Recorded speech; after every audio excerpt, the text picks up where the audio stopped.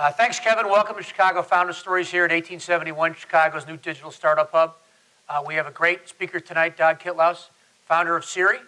Uh, thank you, Dag, for being here. Great to have you. Pleasure. Really a great treat. Thank you. So we have a uh, uh, just a quick announcement, which is uh, now we've done six of these. I think the videos uh, get a lot of views on uh, Built in Chicago in 1871. In order to make them more accessible, we've put them on a new site, coolerbythelake.com, where we'll also blog uh, follow up to some of the questions people have out of this. So we have a special treat tonight. Uh, Dag Kittlaus, who's a wonderful uh, founder, a Chicagoan, uh, who also uh, was a founder out in the Valley. So it'll be an interesting um, combination. We had that with Chuck Templeton, and it'll be interesting to hear your perspective on so many things. Um, but you have a great story. It's a story, a lot of us know some of the headlines, which product most of us probably have on our phones, um, are familiar with, and it's a story we've read about. We know about the great success. But this wasn't your first entrepreneurial uh, experience, was it, Dag? I've had a few, a few down the road. So, but- so take us back to the beginning, because a lot of people have been multi-time entrepreneurs. What was your first entrepreneurial experience? When did you do it? Tell us, tell us the story of uh, your, your first time as an entrepreneur. starting with the paper route. Sure. Actually, I come from a very entrepreneurial family. Uh, my brother's an entrepreneur, sitting up here. My dad's an entrepreneur. So we've always been doing something or another, uh, and we've kind of been working, you know, from a very young age. And uh, but the first, I think, sort of notable story was when we were. My brother and I decided to. Can you guys hear me? I want to pull it up a little. Can you guys hear me in the back? Okay. Okay, good. Um, we decided to make a T-shirt for Taste Where, of where are you living at the time? So we lived in Chicago, Okay. and my dad, we're we're bringing this idea to my dad, and we said we're going to make a T-shirt. He's like, yeah, that sounds good. Sounds good. So we designed a T-shirt for Taste of Chicago that we put in a bunch of backpacks and ran around And what was the T-shirt? peddled it. It was basically, it looked like a mouth that was biting into a hot dog, and out of the hot dog came like the Sears Tower and the, sorry, the Willis Tower, I guess they call it now. I don't call it that anymore. The Hancock and, you know, the buildings of Chicago were coming. So we ran around and basically peddled this T-shirt, um, and went back to my dad like three days later, and he said, you know, how, how did it go? And it go? I took a, my brother and I took a, a garbage bag and dumped eight thousand dollars onto the table Wow. uh, out of the blue. So that got his attention. Uh, so even though even though he was an entrepreneur, he uh, he appreciated uh, a project like that. So we ended up doing things like T-shirts and and other t- you know kind of selling different things that we would come up with and dream up with in college. And That's fun. one time uh, uh, I had an idea for a shirt and ended up stuffing my car with 2,000 folded up T-shirts. I mean, you couldn't from the from the front seat back and including every square inch of the uh, trunk, there was T-shirts. It was cotton. I mean, if we got if I got pulled over, I think I'd be in trouble. Yeah, it looked like you stole But, them. uh, so we drove around schools. I and did, I did have a short-lived T-shirt business. Um, it involved Calvin and Hobbes, and apparently we didn't have the permission of the auth- of the uh, illustrator. Um, but uh, you know, they, they come up with some clever sayings, things that I probably wouldn't tell my kids that I had on a T-shirt. But it was it sold. They sell well. People like Yeah. a, a good laugh. Uh, so you're like me. You're you're someone who didn't start your career as an entrepreneur, and you're not an engineer. Um, and yet you've obviously been involved in very technical uh, companies and, and, and had a lot of success. Talk a little bit about the path from being a um, someone who wasn't didn't have an engineering background and uh, didn't start in tech, uh, and how you got there.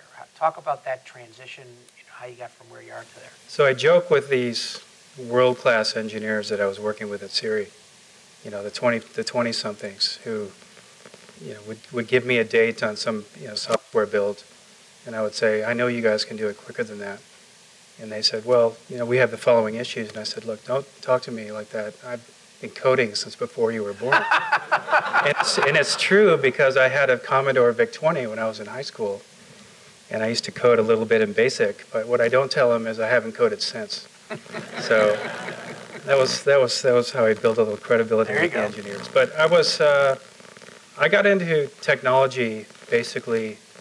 Uh, I I had started a company that was reselling network time, like long distance services and internet access. We were actually one of the first companies that ever put those two things together. This is back in the 90s or the early 2000s, or no, this is 1994. 1994, Wow. Yeah, wow. 1994. So right So- before the big telecom boom really took off. Yeah, So exactly. you were in, the, you were in a good, good place. in a good place, but I was on a plane and I read an article about a company called Level 3 Communications and how they were going to disrupt, you know, uh, voice services and internet with something called IP, Internet Protocol. And I got off, by the time I got off that plane, I realized that the company that I had was going to get essentially outdated. And I said, I got to get to know this technology. And I, I just got obsessed with Internet Protocol, and I just started reading everything I possibly could get, every bit of information. I mean, this is, again, this is back in the early days of the Internet, so it's not like a little more work back then. It was a lot more work, and I think I was using, you know, Alta Vista or something to try to find information.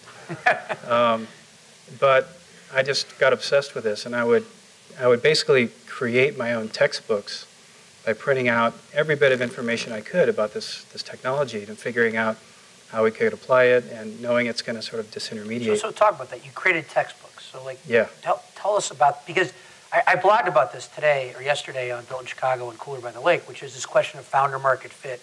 And the founders who are most successful really understand their space. Right. And some people like Brian Johnson, um, and he kind of grown up in that space. Right. Um, other people have to immerse themselves to learn it. So talk about this because I've never heard of anybody creating textbooks themselves for their Right. own. So talk about it. Talk about this and, and what you got out of it. Why did I mean once you read it, a lot of people just throw it away. So why? Yeah. What, what about what about this really made it important to you? Well, I recognized that something that I had invested time and money in was about to get changed and obsoleted, essentially. So I was, I was captivated by the fact that there was something that was going to, around the corner, that was going to completely change certain areas of the business, the one I was in. And I just went on a search for information. I was so hungry for learning about this and, and getting ahead of the game. Mm-hmm. I got kind of obsessed with it. I, I would go and I would print out all kinds of information. I would organize it and I would literally bind it. Hmm. I would go after I had a day job. I was still had this company, and I would come home every night and read this stuff. I would get in the bathtub with a glass of wine and read for hours and hours and hours Hmm. about this technology. And ultimately, I ended up learning enough about it and understanding how it was going to impact the business I was in that I ended up selling out to a partner and moving to uh, Norway at the time, which is where Which is what every every entrepreneur does. Every- you have to- you have- Everyone takes- Norway. Everyone takes a path through Norway on the way to Exactly. success. You grew up in Chicago. Yeah. And you had a telecom business here and learned everything about telecom, which naturally led you to move to Norway. Yeah, it's a natural path. Yes, Natural so path to I, the planes were full of people doing this Yeah. in Chicago at the time. So how'd you, how'd you do that? What made you decide to go to Norway? What made you decide to go to that company? Um, tell us about that story because it's an interesting path, but it seems like a very important one in your, in your story. So there's a couple of reasons. I have a lot of family over there. Um, I was g- going out with a Norwegian girl, and of course, there's always a girl in the story somewhere. Does explain a lot. Uh, and I also got an opportunity out there. Uh, I was actually hired by one of the top technical companies in the world at the time, which is Alcatel, uh, to be a technology expert in Internet Protocol, which I Hmm. knew nothing about six months before. Hmm. So I ended up going there, um, and it, but I think that's a great one, which is in these emerging technologies that come out. You know, a lot of people think that people all studied this in school or whatever Right. they did. Um, and the question of when you're in these new areas that are emerging, it's really the person who wants to be the proverbial student of the game who Right. can get there. Um, the, uh, the guys from Decision Sciences, we hold a patent together, and I don't have a computer science background, but the world is kind of emerging that way. If you can dive into it, there's no reason you can't learn it. Right. But a lot of people, I think, assume, well, that's not my background, or I didn't study that in school. But so I'm here to tell you right now, you don't need to be an engineer to get excited about technology or to understand the technology.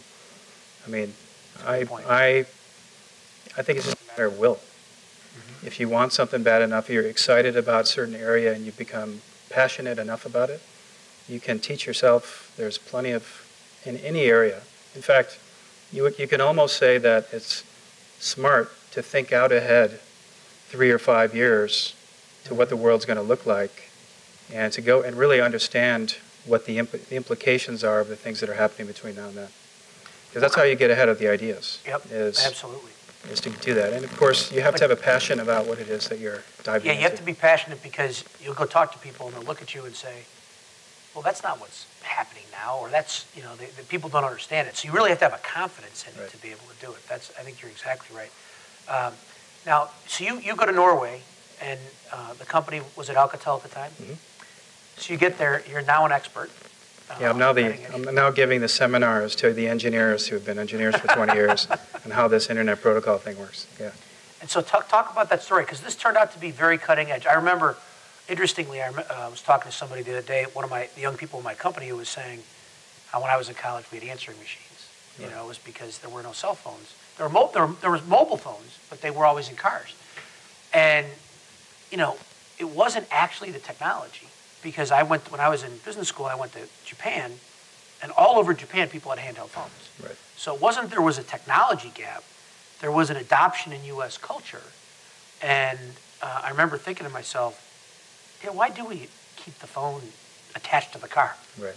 Um, and so it's interesting to go to these different markets. So you go to a market that I, I think was very different than our own at the time. Talk about that. Yeah, so, so I ended up getting recruited into a job at a company called Telenor.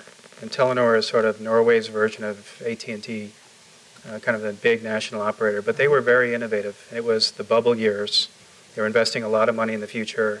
Um, 3G was about to take off. It was all the Wow. rage. They were paying tens of billions of dollars for 3G licenses all over Europe. It was a crazy time.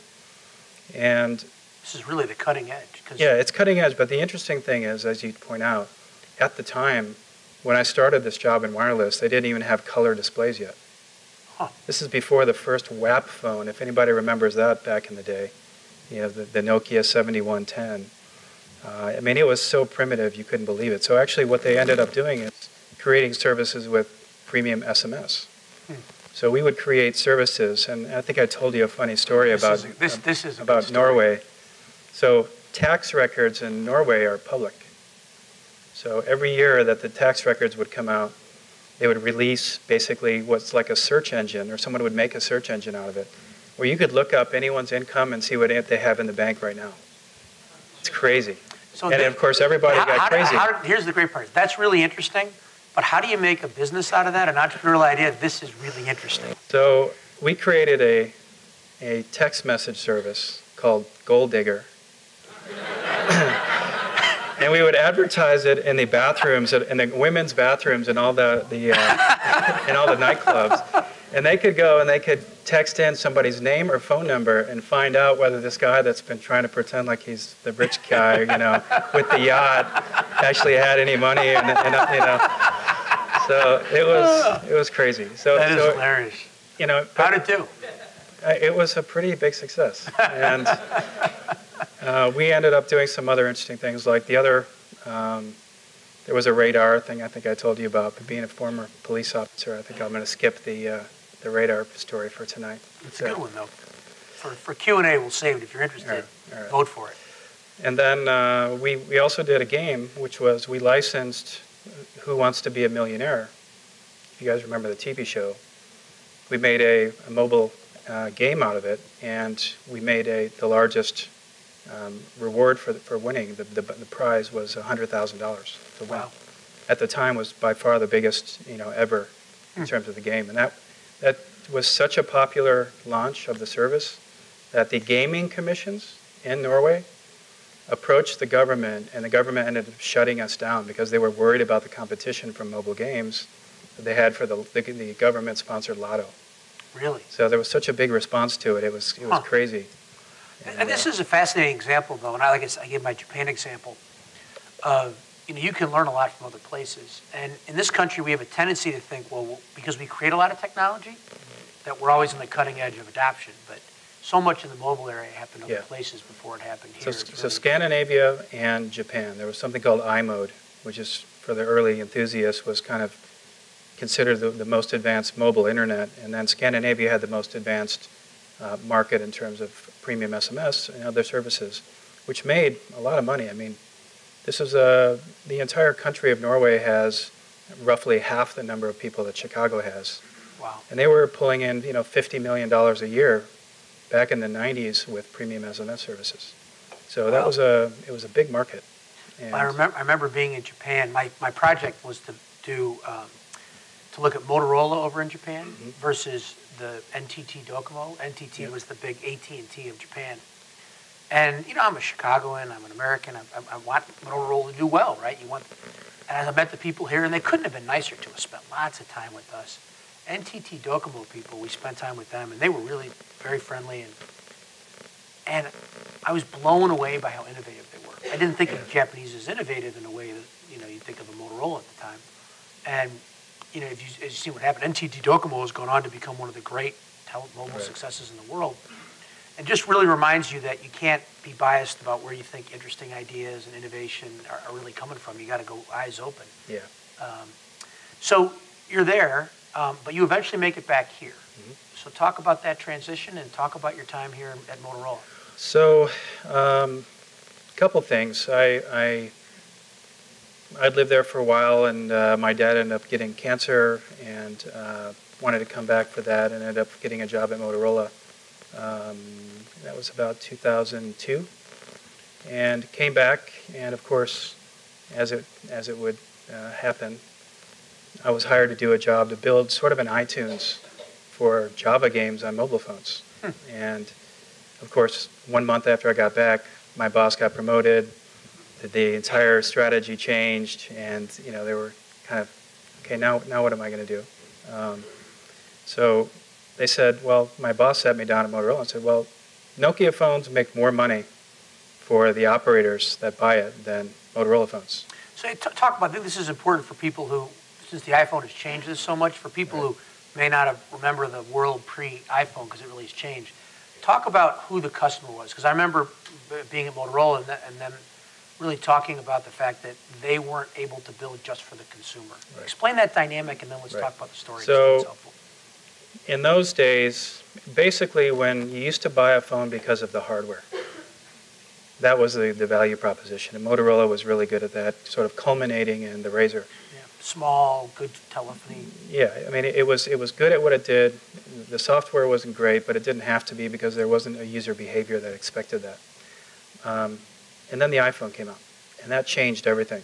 And that single-handedly changed the way. First of all, it, it vaulted the United States back into the leadership position single-handedly.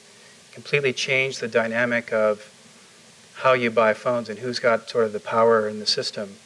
Whereas we used to build a phone when we were at Motorola that was per the specs of the Verizons and the AT&Ts I think that's and important. Your customer was the product manager at Verizon. Yeah, absolutely. Not what, a, even if you could build a phone consumers would buy. Because it was crucially important to their business that they had a differentiated phone offering because people bought the subsidized phones, and that was where their, their what they call the net ad subscribers came from, and that's where their business was built on. So they had to make the right choices about which phones at which price point. This, th- this They were the customer. I think this is a really important one for founders. As you think about a company, that example is, is a really interesting one, which is who's your buyer, knowing who your buyer is. I mean, clearly your user, in this case, was a consumer, but your buyer was the mid-level bureaucracy of these wireless carriers. And so people who innovated, I know a number of people at Motorola who did really interesting innovations, um, but this question of knowing who your buyer is versus your user is kind of a painful lesson to learn because you can build the thing that users will love, you can test it, and people will go, God, I wish I could buy this. But if the person who's your buyer in that big corporate organization isn't seen in their interest to do it, it doesn't matter. And I think that, that has an interesting impact on innovation. It is, and it, and it, it matters a lot depending on, you know, who your who your buyer is. I personally, having seen both sides of that, I like consumer. Because essentially let the best product win. Mhm. And S- Steve Jobs would talk about this a lot.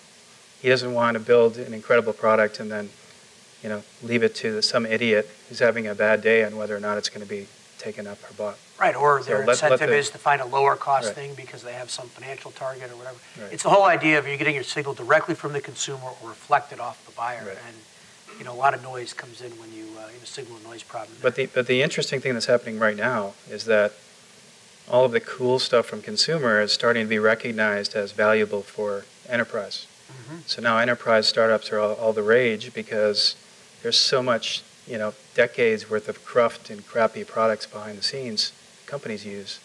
They're starting to recognize the value of social networking in, inside the enterprise and other things.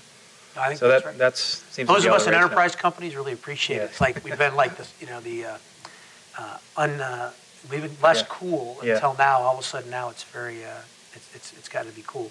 Talk about Motorola though, because Motorola in the nineties and early two thousands, Motorola was a hot company, a hot technology company. You had an interesting experience there. Mm-hmm. Um, now, if you look at the last five or 10 years, you don't necessarily think of them as being on the cutting edge. But talk a little bit about what you did there, because it seems like you really had a, a, a fascinating set of opportunities and experiences. Yeah, well, the interesting thing was, so I told you about getting sat down and, you know, Nokia phones make more than Motorola phones, so how are we going to fix that? It's only like the biggest problem that the entire industry was trying to solve, and my boss was saying, go take care of that for me, will you? Um, so anyway, I had some ideas about, um, I had an idea uh, related to something called, that we ended up calling Screen 3, which is basically when you turn on your phone, and again, remember, this is way before iPhone came out. This is when you did nothing but text and ca- and call on your phone. Uh, basically, you turn on your phone, and suddenly you'd get kind of like an ESPN ticker along the bottom that you could program to your favorite channels. And, and it was, at the time, it was, it was uh, a novel idea. And we ended up taking that idea. It was a startup within Motorola that uh, we went from me to 200 people working on it, and we sold it around uh, about a dozen mobile operators around the world and you know about 10 million users. So it was a big deal, but the interesting part about that um, was it was such a tough road because the culture in Motorola was about selling the boxes to the operators. And I'm saying, well, there's some really cool new stuff that you can do with the software. And by the way, they're going to like it too. It's going to differentiate you. And you end up spending, you know, 70% of your time politicking to get an idea, uh, you know, accepted up the chain. And I ended up having to go to the CFO at the time of the mobile, Motorola mobile devices and saying there's a cool new idea. And he said, how much do you need? And I said, seven million to build it and to get it out there. He said, well, how much does it cost to build? I said, four million. He said, all right, I'll give you four million. I said, well, it's the rest, it's the other three million that's going to actually get the return on this. And he said, well, go get a customer. So I ended up having to go out and run around to get customers and, and the operators interested in this idea. And uh, we ended up getting so many customers interested in it that it started to, they were demanding it in devices that were earlier on the sort of shipping schedule. So I was getting in trouble because the customer wanted it too much. uh, so anyway, it was an interesting cultural battle that I had to fight to take a new idea that was sort of a software related idea and really what was at the time a hardware company. And uh, yeah, so that was the first thing I So from an innovation perspective, having been an insider and innovator there, if you had to look at Motorola and say, you know, could they have had a different future? Or was the, was the die cast when they went there and, and, and it, it, whatever kept them from getting there? What, how would you describe that for, for people to learn from? So again, I would lesson? say that um, when the value proposition, when the iPhone came out, you know, software became important, and they didn't really have a long-term plan for software. They had some of the wrong people running it. Um, I mean, interestingly, the, the job that I took immediately after uh, working on the Screen 3 project was a next-generation smartphone project where I was working with Andy Rubin and Android to build the first Android phone ever. Uh, Hmm. This was in 2006. Wow. And what ended up happening was we had unbelievable, these really cool phones, uh, working closely with Google for a year, and uh, you know, top management ultimately came back and said, "Well, we're going to be dependent on Google for our software. Now we're not going to do that." So What they ended up what was their canceling the project. So what, what were they going to do instead? That was my question. That's when I ended up leaving. So, uh, yeah, ultimately, uh, that shift from the value proposition being soft hardware to software was a rough one for Motorola at the time. I've heard people there say that part of the issue is um, that, you know, when Motorola, if Motorola would have tried to buy um, Android, they would have made Andy Rubin. What, what, what do you think his position would have been inside Motorola? Yeah, right. Like uh, senior manager of something or other. Right. Yeah, Right. That, that's And it's a key point. and at what and at Google, what is he? He's I think he's the head of their whole mobile. Yeah, now strategy. he uh, he started at either director or VP level, and he's now running the entire mobile. That's a big cultural shift for a place Yeah. like Chicago to take somebody from a startup. He must have had 50 employees when they bought him. Mean, it wasn't huge. Oh, it was even smaller than that. I think it was in the 20s. 20s. So you buy a company with 20 employees, and you know, in a place like Motorola, you'd say, well, okay, if you have that many people, it's like the military. If you have this many people, then you're a senior Right, manager, right. Right. Yeah. And at, at Google, they basically say, well, we don't know that much about this. You're the expert. You're the thought leader, and you know, put that person in charge of Right. what's significantly the future of their company. Right. I mean, that's a huge cultural difference, and um, it's a real credit to them. I mean, it, that's a that's a bold move to take somebody who has never made made a profit yet and make him the, the you know the person driving Well, the future. ultimately, that's why they bought Motorola instead of the other way around. exactly, So, exactly.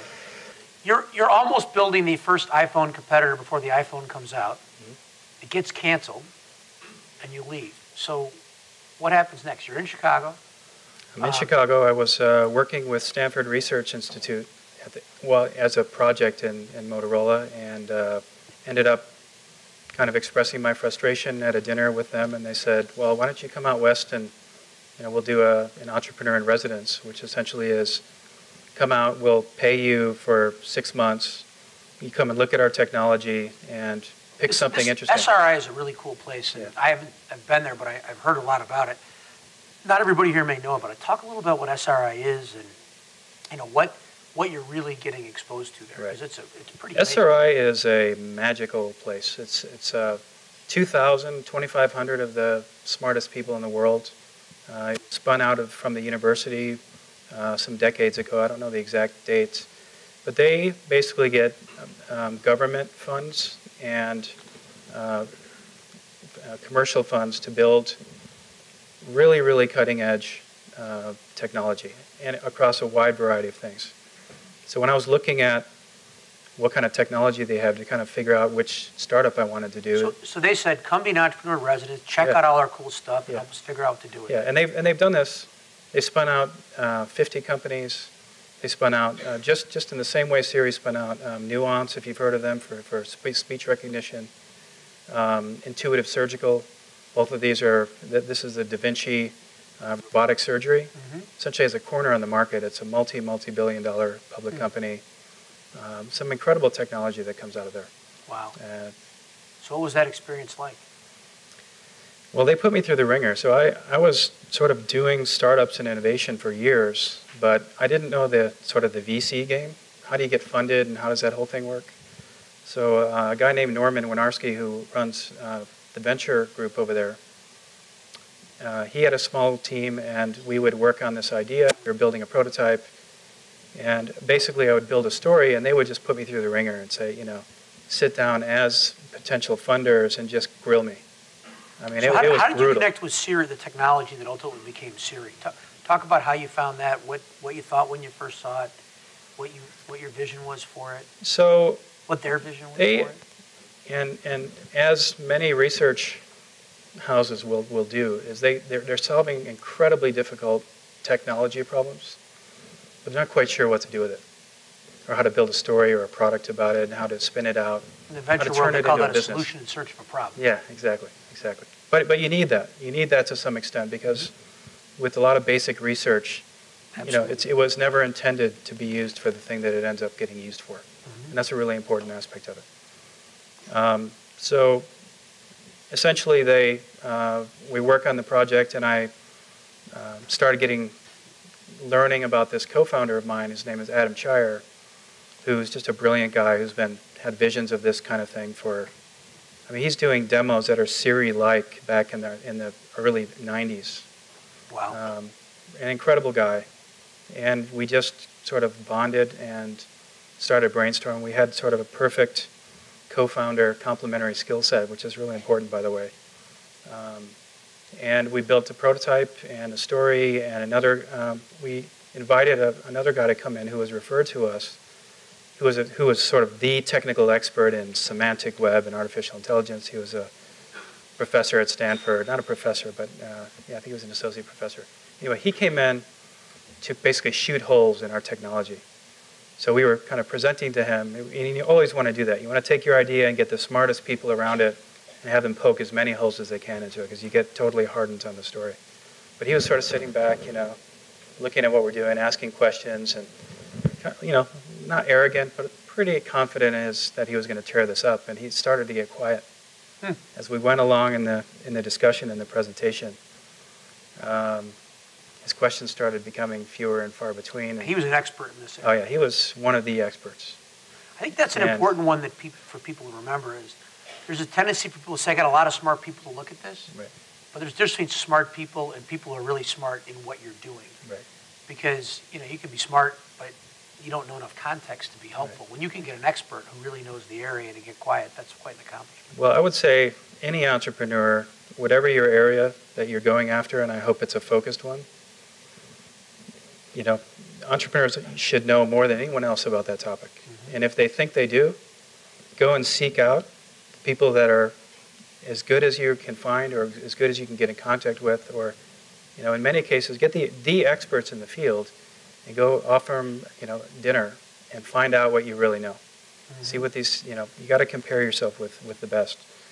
And it, ultimately you know i'm walking this guy who was kind of got quieter and quieter out to the to the parking lot and he kind of said well you guys need another uh, founder and that's how we got our third co-founder Nice. yeah so he was a brilliant guy and uh, so the three of us i think had a very good complementary skill set So talk about that. I mean, people know that it's important to do that, but it's one of those things that if you've never done it before, um, there's a little bit of sort of how do I do this? You know, it's you can Google how do I find the right co-founder, but that's you get lots of people's opinions, Right. not necessarily people who've done it right.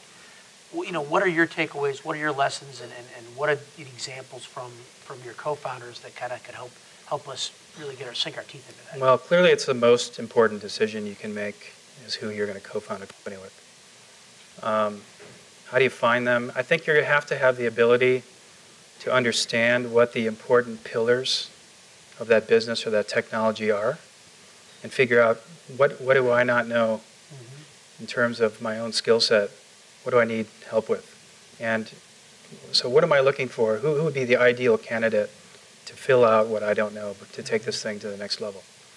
So, I think that's that's the process you have to go through, and you know, don't compromise, because you are going to be spending a lot of time with this person or persons uh, over the coming years, and it, it's basically the most important decision you can make. Well, I think it's it's it's easier now than it's ever been because you know there's been enough success of, uh, of startups generally, and then in places like Chicago, we're getting a critical mass. You know, the idea of I see people in my role in the I2A fund uh, investment committee where I'll see people who say, "You see a lot of companies, you know, I might want to do that," and you see people who are 25, you see people who are 45. And so it's an interesting, I see people who are 55 who've done interesting things. I think there's a really interesting question um, which is, you know, 10 years ago, you know, after the dot-com bust, was kind of hard. Right. 1994, 95, you weren't in a place like the Valley where you felt that, it was hard. Right. But, you know, I think that, you know, don't just settle, shoot is, is good advice. And, um, you know, there are people moving to Chicago to start companies now. I mean, it tells you, tells you that you shouldn't settle if you, to, if you if you're able to pull that off. I wish there was an 1871, you know, in 2007 when I was getting the whole Siri thing going. Uh, there was nothing like this here at all. But the point is that it's cool to be in a startup when you're in the Valley. Yep. And if, if you go to Stanford for four years and you haven't started a company, you're kind of a wimp. You- want an Right. amazing fact? So um, I was at Stanford for a trip as a Northwestern trustee. We were out there, and they told us that 90% of Stanford students, 90% of Stanford students will take introductory CS. 90%. 50% of English majors will take introductory CS. And they have a class, they basically have, you know, intro CS for poets, essentially. Um, And, uh, and to show you how it's changing, at Harvard, they have a great class known as CS50. And like people love it. They get the T-shirt. They have a CS50 T-shirt that you get for taking the class. And people, it's like a moment of pride. 50% of Harvard students, Harvard's not known for engineers. It's a very small engineering program relative to others, especially MIT down the block. 50% of Harvard students will take it intro to CS. And so you see that really happening and, and, uh, and that change.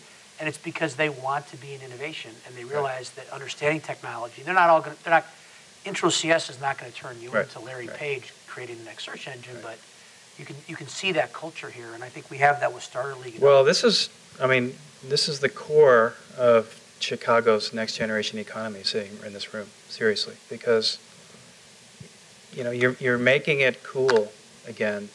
I mean, this is, it's, and it's also important to have sort of a geographic central area where people with entrepreneurial drive can come and be around other people.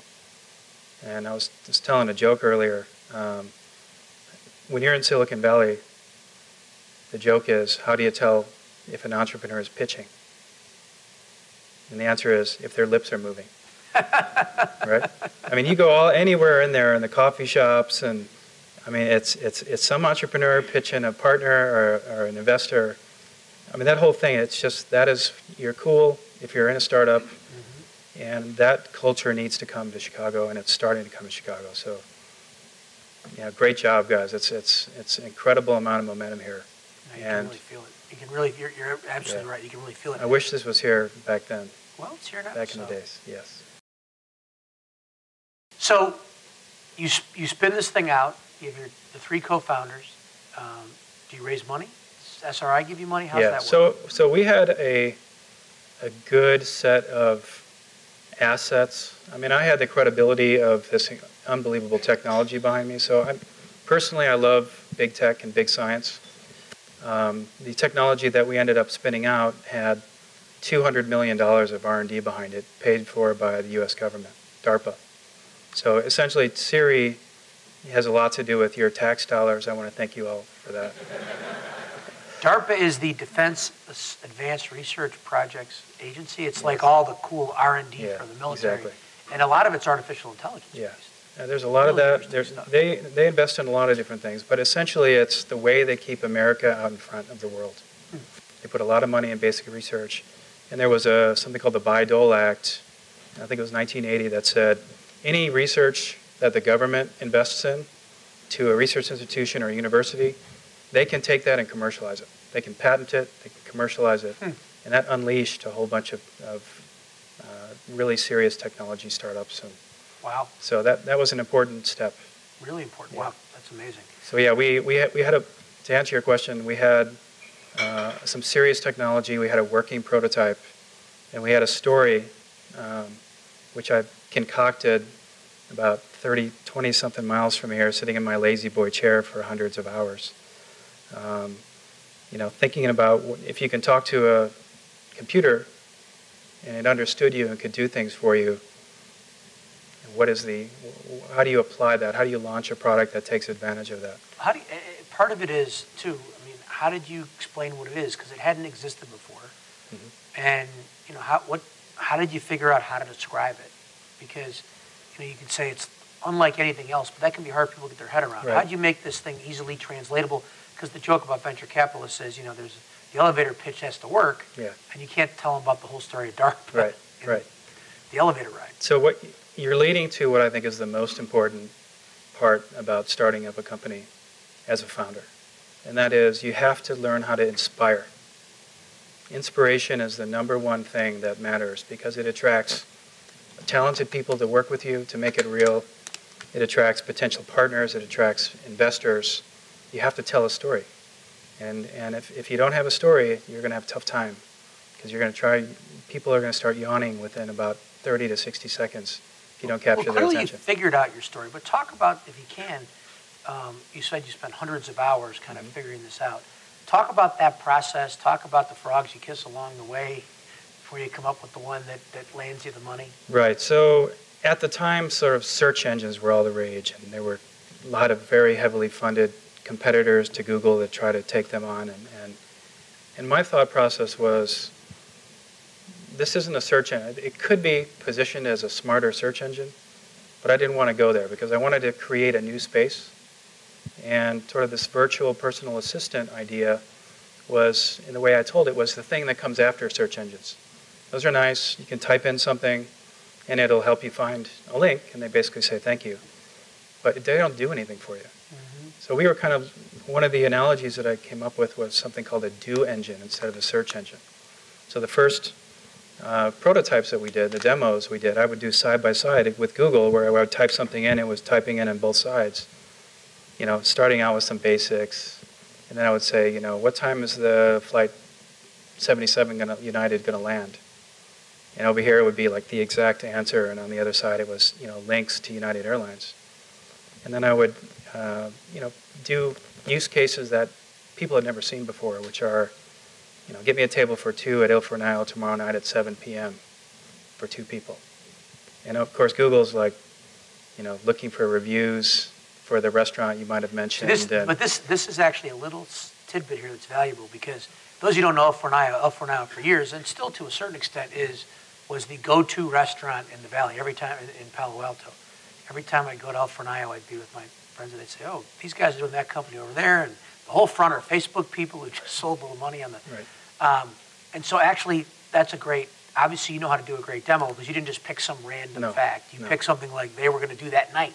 we knew that there was, using this technology, there was a way to shine a spotlight on a capability that no one had ever seen before. The interesting thing that not many people know is that Siri wasn't about voice in the beginning. It wasn't hmm. about speaking out loud. It was about sort of making it easier to use the internet. In fact, one of the funny stories is that one of the very most respected VCs in Silicon Valley, the one any, everyone will know them, they sent me a mail saying, We're interested in investing in Siri, but only if you do the internet and not this mobile thing. so this is, you know, 2007. Did you save that one? Well, th- there's some more irony, but I need a few more beers to tell you about the rest of that story. Yeah, so I, I did save that, that mail. Um, so it was just interesting how the perspective changes. But um, ultimately, you know, we knew we had something. We had plugged in a bunch of services, and you could basically talk to the internet, and the internet would do things for you. There was nothing else like that.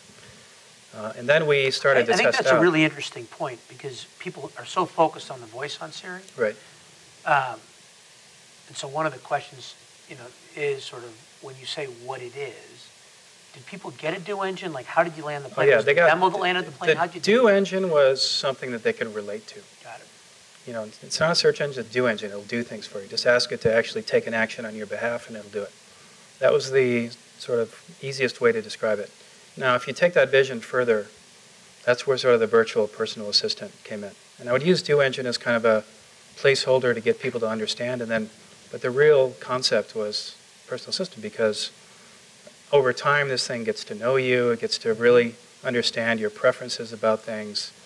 Uh, and it applies those in real time and knows which services that you like and that you like the aisle seat and that you've got a frequent flyer program with United and you prefer to travel in the morning and, and apply all those things automatically. So that was the, the concept that we, we landed on and I think it sort of started to take off. Now, you know, Siri was a certain way when we launched it originally, which is literally three years ago last week. And then Apple slightly changed it in terms of the focus of what it was to be more of an iPhone thing. Got it. Um, but I think it'll, So you, you raised some money. How much money did you raise the first time? We raised uh, eight and a half million in our Series A. So you raised eight and a half million dollars, and then how long is it between then and when you launch the product? So this is extremely hard stuff. Uh, you, there's so many things to integrate. We we worked heads down for two years. Two years. Wow. two years. And, you know, knowing that we were going to need to raise another round before we launch. And of course, the big thing is, do you raise before you launch or after you launch? Because, you, you know, VCs always want to see it take off from day one. Sure. Um, VCs like to use the phrase de-risk it. How can yeah, you de-risk how it do you de-risk it? So, you know, we knew we had a, a special product, especially after the speech came in, by the way. That was a magical, magical moment. We have on video somewhere. Um, so we raised... Talk about the speech, the speech coming in. How did, I mean, how did you pick the voice? How did you decide speech was important? Well, we, we it wasn't made for that originally, but of course, iPhone had taken off right at the time that this was getting funded. And suddenly people are using apps and it's, it's, people are using their phone in a lot of different ways. We're like, and I always knew mobile was going to be the big market for this down the road. Um, but suddenly there was an app store and ways that you could start to actually test out things uh, on your device that the app, uh, Apple ecosystem gave. So we plugged in a couple of uh, speech recognition, which basically would just turn the sounds that we say into words, and then we would have the words go into Siri as if you had typed them.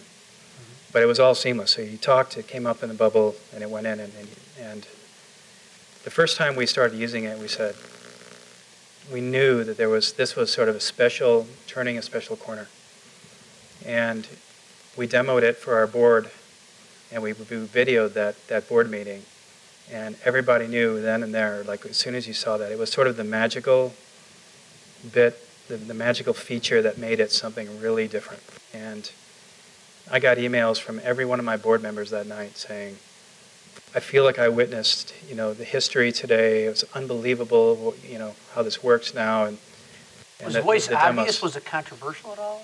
It wasn't was it? controversial, but it, it adds a set of complexity to any natural language thing because it's screwing up words. Right. Right? So you don't know, but it, it, it got to a certain level where you get a comfort level with it that it's going to be right most of the time. And when it's right, actually what we did originally was you would, you would talk to it, it would immediately give you the words and you would, you would say, Is that what I said? And if the answer was yes, you'd hit go. So you could actually edit it if it screwed it up before. But uh, Apple didn't like that. So they said, No, no, Steve, he wanted to make so it just it went immediately away. And, and, and if speech doesn't work, then just fix speech. How did Apple first see Siri? So that's a funny story too, because uh, I told you there's some really interesting demos that we had across along the way. Uh, easily, easily the worst demo we ever gave was to Apple. Really? I mean, it was on a day where our speech partner at the time, which is not the one that we had ended up using, they had a bad day. I was saying, you know, get me a table for two at this restaurant, and it was coming back saying, the circus is in town. I mean, it was so ridiculously off. And I'm looking at, you know, my co-founder, you know, what the hell is going on here? And the people around the table are kind of going, yeah, you know, this is really not that good. and, and uh, you know, at the time we didn't have any, any big plans, um, but it was just terrible. So we actually quickly made a video um, because it started working again. They, they had fixed whatever the issue was. And we made a video showing have, it working. What a day to have a bug. Yeah, yeah, exactly. But it was the only time that we had that. And I'll tell you a few other stories.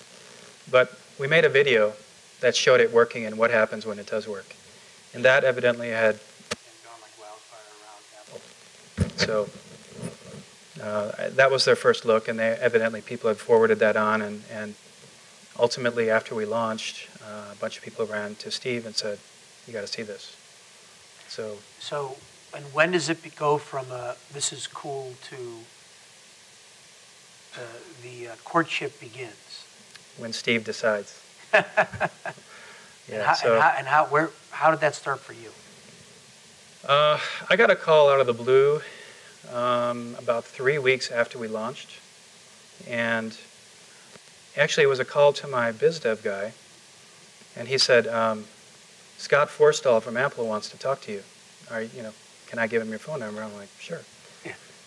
And my phone rang, and it was funny because I picked up my phone and I'm like trying to swipe it kept on bouncing back. You guys ever have that problem? It bounced back like seven times before I finally answered the phone, and it was, "Hey, is this Dag? Yeah, this is Steve Jobs." And I said, "Really?" but I could hear. It's funny because I could hear that it was him. I knew it was him right away because he has a distinctive voice, and it was. But it was cool. I don't get really nervous in those type of situations very often, and. Uh, so what's he say? He says, you know, we love what you're doing, and and you know, where, you know, where exactly you guys located, and you know, uh, how big's the company, and you know, we're really excited about what you're up to, and like to see more. You know, can you come over to my house tomorrow? I said. What'd you I'm, say? I'm, I said, I said, actually, I'm taking my wife to the ballet, so uh, this is the truth. I did. I said, yes. I, I said, I said, I said, uh, I, happy to come over, uh, but I'm taking my wife to the ballet. He said, oh, that's great. He said, uh, just we'll, we'll set up a time a little bit earlier. He said, I'll call you back in a little while. Literally. And so, little, you know, an hour later, phone rings. It's him. And then he, he said, okay, I found a time that's going to work earlier. You know, come on over. Gave me directions, you know, verbally to his house. And you know, literally like, well, then you take off, you know, at 280, and then you get off at this, you know. Like, I could just put it in my iPhone, Steve. so anyway, uh, went over there. Of course, um, I brought my co-founders with me. And, you know, you just go up and he's, he's got a really small, normal-looking house. And not small, but it doesn't stand out on the block. And uh, walk into the front door, and there was sort of a, a guy there that, you know, just in a black T-shirt, kind of looked like a special forces kind of guy. Uh, hello, you know, come on in. And I ended up just sitting down in front of the fireplace with him and, and chatting for about three hours about wow. the future of mobile and what Siri does. And you know, he, he basically told me the story of how Apple's going to win mobile. And you know, we talked a lot. And he told me some inside stuff that I'm not going to talk about tonight, but uh, unless you give me a couple more sips of that. uh, but it was interesting, and I, I found it quite surreal yeah. sitting in there next to him talking, you know, 24 hours, you know, after he called the first time. So uh, that's not the typical startup story, but I guess it means you're doing something right. So you leave that day, and are you thinking partnership, sale? Well, I mean, I was no under no illusion that he just heard about me and thought I was a really nice guy. Um, you know, they were they were interested, I think, and he alluded, you know, in a few in a few ways that they were interested in, and you know, he called it throwing in together because um, we can do some great stuff together.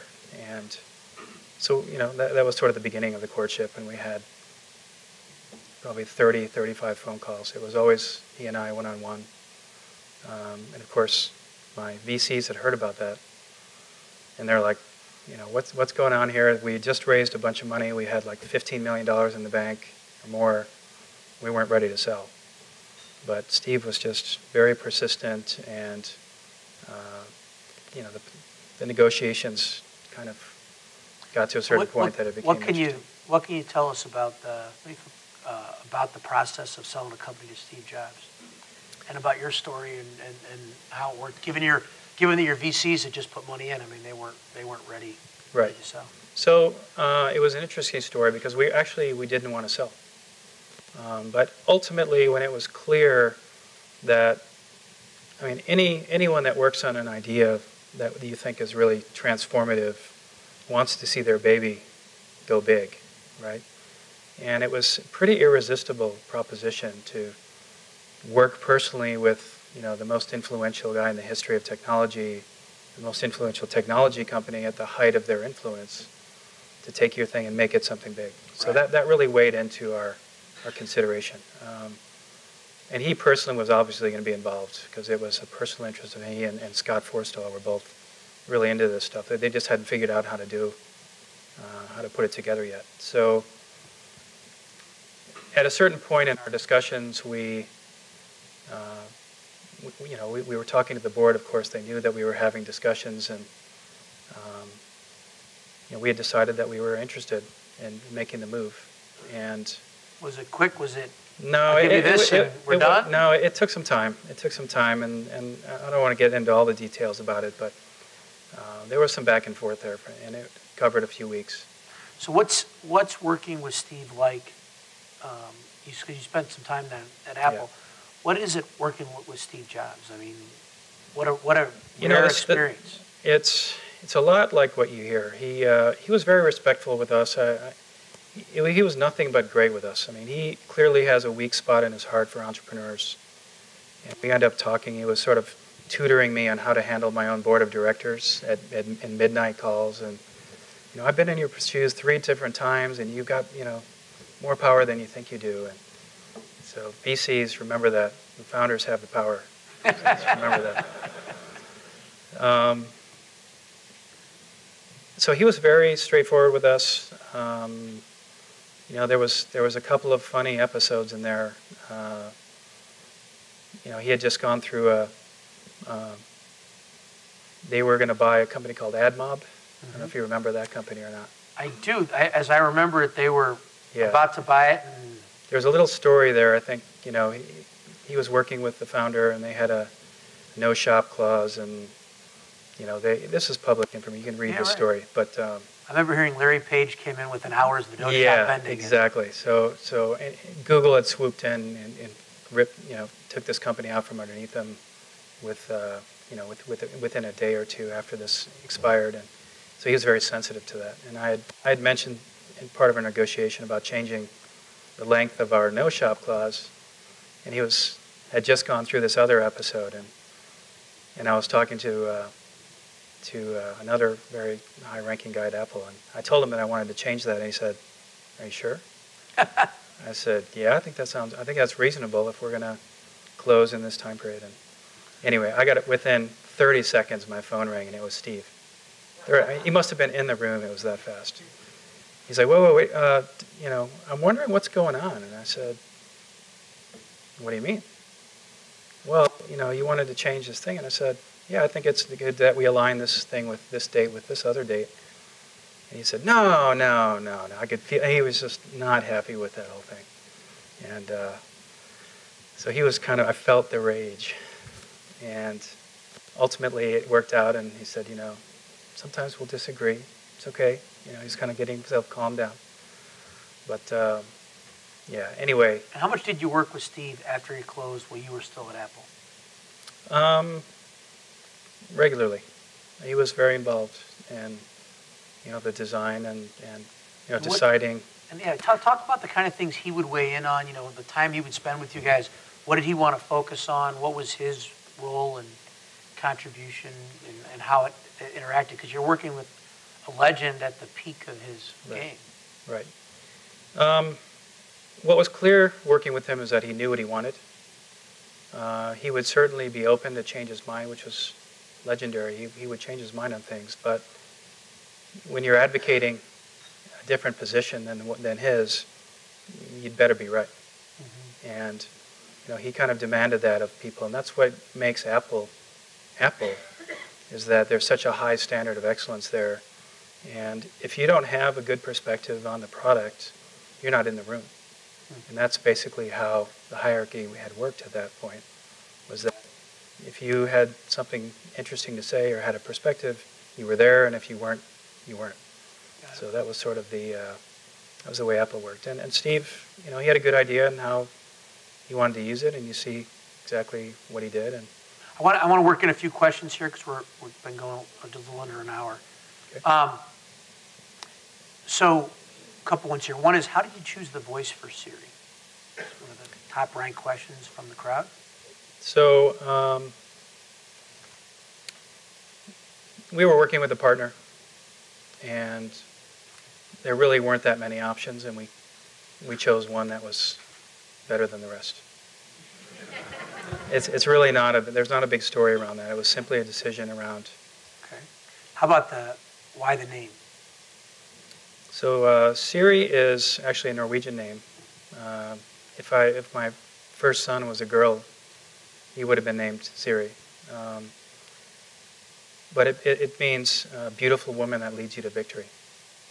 So we were discussing names for a long time. It was a tough process, and I just started sort of advocating for that one, and it worked out. People, a lot of people think it had something to do with SRI Right? It had nothing to do with it. Mean, We added the I to the end of it, and we joked around with them saying it's SRI with intelligence added. I. So How'd that go over? yeah, like a lead balloon. Um, one question is, what do you see as the next big tr- trend in tech? If you had to be looking out over the horizon, what would you say to people? The thing I would, if I were now um, you folks and I wanted to build my own textbooks, what would you be building it on? So automation obviously is a huge thing. Artificial intelligence applied across a lot of different areas, but the thing that I'm really captivated with right now, which I think is going to be a huge deal way before people think, is self-driving cars. Self-driving cars. I mean, that I think that's going to be a way bigger market than search ever was for Google. There, there's um, the amount of money spent in, in in auto collisions and wrecks is like $260 billion a year. It's like 2 to 3% of the gross national product in the U.S. is car related. Well, you see, it's interesting, you see it in planes. There's an article today, it's been four years since we've had a um, death in a commercial airline in the U.S. And it's the longest period, I think, ever.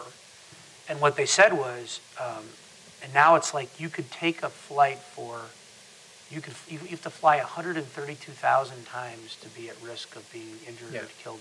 Something like if you- if you Yeah, you flew every can- day for the rest of your life. Yeah, yeah, no, no, it's more than that. It's like uh, you can, if you got on a plane every day of your life, it would take 14,000 years Right, you go. before you got in a crash, and chances are you would survive that crash. And the, and the answer is because um, they say the technology behind simulators, the technology behind these crash warnings, collision warnings, you know, there's all this technology that's been built in. You're right, hasn't been built into cars. But that's why, I mean, human error is clearly, I mean, texting, fiddling with your uh, radio, being on the phone, drinking too much, those are the things that cause accidents for the most part. And now you've got a system that is looking 360 degrees five times a second. That's figuring out that it has maps arranged. Uh, it- dealing with weather, I think, is going to be the biggest issue. Hmm. Different surfaces, I think, is going to take a while. But I think in 10 years, if you drive a car as a human, you're going to have your own lane off to the side. I'm, I'm not kidding. That's I'm not kidding because, I mean, cars are going to come in and they're going to basically snap into a local area network where they can pull right up to a foot behind the car in front of them, which is they're all stopping and starting at the same. I don't know if you know the dynamics of traffic, but little perturbations in, in traffic are what cause traffic jams because somebody puts on the brakes here and suddenly they all have to put on the brakes and how long it takes all this, all that disappears. I know this from my police life because what happens is somebody's giving someone a ticket. I know. and- They're going to have to look for new sources of revenue after this. I I'm- know I'm they sorry. will. I, I worked mostly in gang narcotics, so I didn't give that many tickets out. But I'll say, it's amazing to me when, when people, you, you're driving to the airport and you're like backed up for 10 minutes and you get there and everybody's just looking at this guy get a ticket. This Yeah, poor guy's yeah, getting a ticket. exactly, right. And you say, that's what we're slowed down for? Yeah, Um, the Gapers Gap thing is, is incredible. yeah. Um, couple other ones in here. Um, the, uh, the first one would be, as you look at um, advice for young entrepreneurs, what would be the, the seminal advice you would give a young entrepreneur today? Well, I mentioned it already. Aspiring entrepreneur. Uh, I mentioned it once already, and that's learn how to tell your story.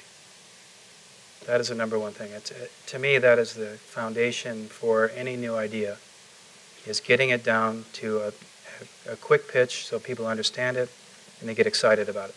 If you can't do that, you're going to have a real hard time getting a company launched. Should everyone learn to code? No, definitely not. But we do need more coders, especially in Chicago, which there are, you know, a few good engineering schools around here, but you really need more.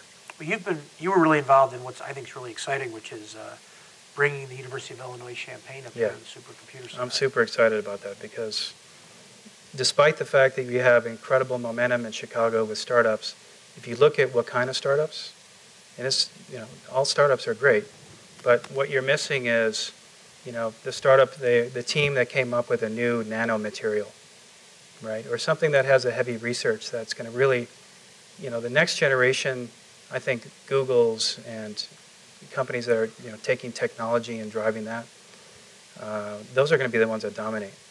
Now, there, there are great businesses to be had. Um, you know, look at, at Grubhub. They're, they're, they're kicking ass on making something as simple as delivery, you know, an option that works economically for all sides. Uh, th- there's a lot of businesses that are. So when you look at Chicago and you think about the prognosticate about the future, what do you see in terms of where we are now as an entrepreneurial community? And what's your sense of, um, not comparing it to the valley, but comparing it to sort of how we move to the next level? Um, what's your thought about where we are? What are the things we have to overcome to get there? And what's your view on the future? So I'm very excited about the momentum. I mean, I was I came through here with Kevin a year ago, and it was a ghost town. Look at it now. I mean, uh, the amount of momentum that that entrepreneurialism has in Chicago is fabulous. Um, I think the missing element is to get a Stanford equivalent here, which I think this U of I thing could become. I think there's some other excellent schools around, but I did notice that when I was talking to entrepreneurs coming back from Silicon Valley, a lot of them had ideas about things, and I would say, "Who's going to build it for you?" And they would kind of look at each other, and you know, there's there's definitely a dearth of really good, and there's just not enough because every aspect of almost all industries is going to be technology based in the next 10, 20 years. So tech, Chicago can't just be a startup community. It's got to take a leadership position in some technologies. I think there needs to be some research dollars put in. Um, personally, I would like to see Chicago make a few big bets. You know, look at ma- nanomaterials or We have, at manufacturing. right? Northwestern, we have one of the top five nano centers in the world now, Yep, so and I've, I've, I've been over there talking to those guys, and they're, they've got some really great stuff going on. it's exciting. But I think we need to do more. Well, and you can see it, one of the things over there, I, I know some of the scientists really well, and um, one of them was won everything with the Nobel Prize. Right. He's young, he's our age, so he would, he would win it older anyway. Um, But name one Northwestern company that's come out of there that's all the rage. No, it's, well, it's hard, it's early, but part of the issue, Jeff Ronan and I were talking about this as part of the Chicago Next uh, effort we're involved with, and the trick for bio is, and, and, and nano is, the scale CEOs aren't here. And so you see these little pieces that have to fit Right. together to make it work. Right. Um, and sometimes the venture guys say, well, we'll move to where the CEO will be. And that's a tricky, tricky Right. problem as well. Well, look, uh, there's, there's a lot of momentum, and even Northwestern's got a lot of stuff going on. Um, I'm excited about U of I, and I think IIT's here, and, and, and others. Um, but I think it, it is a smart bet to pick a few areas that Chicago can really become known And for what, globally. what would those be for you? So manufacturing is really interesting. I, I would I would look at something like nano manufacturing. So if you've heard of um, a concept called lab on a chip, for example, lab on a chip is basically a tiny piece of. Uh, it doesn't matter what the what it's made of actually, but it's it's it's like a, a tiny lab where you can take one little uh, one drop of blood and do the work that uh, you know three full medical labs would do in a period of several days. It would do all of that on the tiny chip. So it's essentially analyzing your blood across a hundred different potential diseases, and it's testing all that, and you're getting a result in 10 minutes. wow. Now, you can 60% of the people on, the, on Earth don't have access to a hospital anywhere near them. So you could revolutionize healthcare by being able to diagnose on the spot what issues are, and actually all you need is the Walgreens then, right? You, if it's if it has something that's treatable. So there's there's incredible things that can be unleashed. The only problem with that idea is that we haven't figured out how to manufacture at that scale yet, Right. with the exception of maybe the chip companies. Well, you do molecular manufacturing, another nano area that's really Right. interesting. Yeah. Um, So, you know, take, take something that Chicago does well already and miniaturize it. yeah, it's a great idea. Great idea. So, are there any companies you're excited about here that you've seen as you look? I know you see, you, you know you see companies all over the country. I'm sure want to want your advice. Uh, companies here you're excited about? Yeah, you seem to be attired by a few, actually, from what I can tell. Yeah, well, of course. I, I'm, my, uh, my clothing needs have been fully met. So I've got my ZipFit me jeans on and I've got my Trunk Club shirt on. So uh, yeah, when it comes to clothes, I'm set. Uh, on, on sort of the, the uh, you know, I, I'm, I'm a science sort of technology guy. I think Narrative Science is doing some interesting things. They caught my attention when they started doing the uh, sports score, uh, the sports stories. You guys know Narrative Science, basically you- you plug in plug in box box scores and it will create a narrative. It'll essentially write a sports story itself. Yeah, Which They I found pretty like, interesting. It is, it is amazing. I mean, for journalists where there's a lot of pressure on, on costs, it's, it's Yeah. amazing. And it's two Northwestern professors. I've known those guys for years. They've been working Yeah. on stuff. They kiss a lot of frogs along the way. Sure. It's a bit of the um, solution in search of a problem. And, but, you know, I think as the community evolved, they started focusing more and more on that. I think the growth of the community has helped them sort of turn that into a company. It's Right. really, I agree, it's really exciting. Right. So be- between so tho- those are some companies that I um, interact with now. Uh, but it's also important that Chicago gets some hits. So you know what Braintree and Grubhub and, and these guys are doing now, it's really important. In addition to Groupon, to actually set a stage where it's not just a potential for success, but you've got a track record. And believe me, the investment money, as you know, will flow in here as soon as this whole uh, effort around getting you know people stimulated and going in entrepreneurialism, uh, when that starts to show results in a big way, and of course it takes some years, uh, there'll be a lot more money here. It'll become a lot cooler. This, this whole, you know, there'll be 5,000 people in the room instead of, of, you know, three, 400.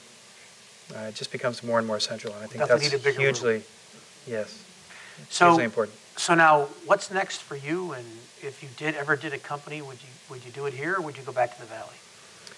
So, um, whatever it is, it's going to be something that's really hard to do. Uh, I have some ideas of some things that I'm working on, but uh, I would love to have it here. Um, you know, I, I do have some friends in the valley that I, I'm in touch with, so you know, there's some relationships there. But uh, I would start a company in Chicago in a heartbeat. Absolutely, as long as I found, you know, you need some big some really, really excellent world-class programmers or science, depending on whatever area you're going in. Uh, if you don't have that, you don't have a product and the kind of things that I like to do. But, uh, you know, if, if, if that was in place, um, I'm 100%. I would start a company here in, in a heartbeat. Great. Thank you, Dag.